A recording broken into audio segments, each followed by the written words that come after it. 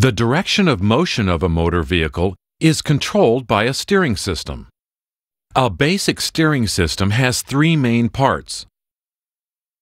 A steering box connected to the steering wheel, the linkage connecting the steering box to the wheel assemblies at the front wheels, and front suspension parts to let the wheel assemblies pivot.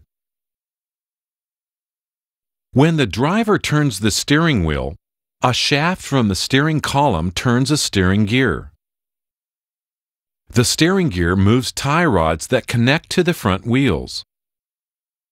The tie rods move the front wheels to turn the vehicle right or left. There are two basic types of steering boxes those with rack and pinion gearing and those with worm gearing.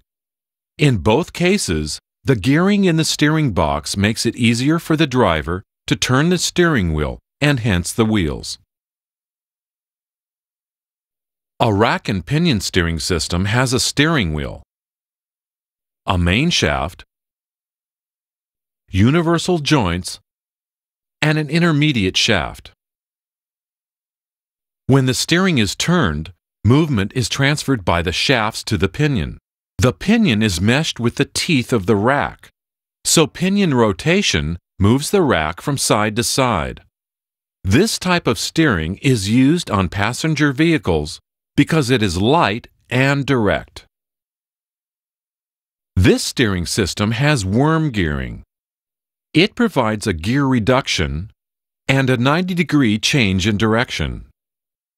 It has more parts and joints than the rack type, but it is more robust and may be used on heavier vehicles. To allow heavy transport vehicles to carry extra weight, two steering axles may be used. They're connected by a link to a common steering box. These vehicles are called tandem or twin steered vehicles. Some passenger vehicles also steer the rear wheels slightly. This gives improved maneuverability. The system is known as four wheel steering. It can be controlled mechanically through a direct connection between the front and rear steering boxes. Or it can be computer controlled. With heavier vehicles, increased use of front wheel drive, and wider low profile tires, more steering effort is needed, so power steering is used.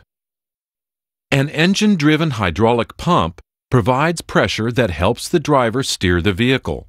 The power steering system is designed so that the vehicle can still be controlled even if the engine or the power steering system fails.